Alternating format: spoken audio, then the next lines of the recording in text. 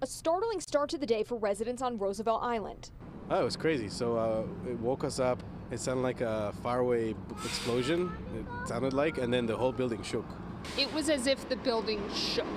There was a loud boom. You could feel like the wall shake. According to the U.S. Geological Survey, a 1.7 magnitude quake registered at 5:45 Tuesday morning.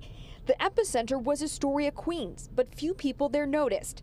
So why did people a mile and a half away on Roosevelt Island feel the impact?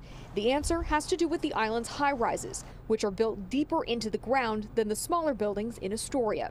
When you're building high rises, you're building any of these buildings in Manhattan, you want to get down to bedrock because that's uh, that's a secure place, right? It's not going to shift. Um, but that also means that you'll feel the stuff that vibrates through that that those waves that actually are transmitted through the uh, through the earth. Dr. Stephen Holler manages the Seismic Observatory at Fordham University. He says the quake in Queens was incredibly minor. Compared to the the earthquake in Japan, that was a 7.5. It's about a million times difference in terms of its strength. But by New York standards, it's still rare. Like, how often does that happen in New York City? It doesn't.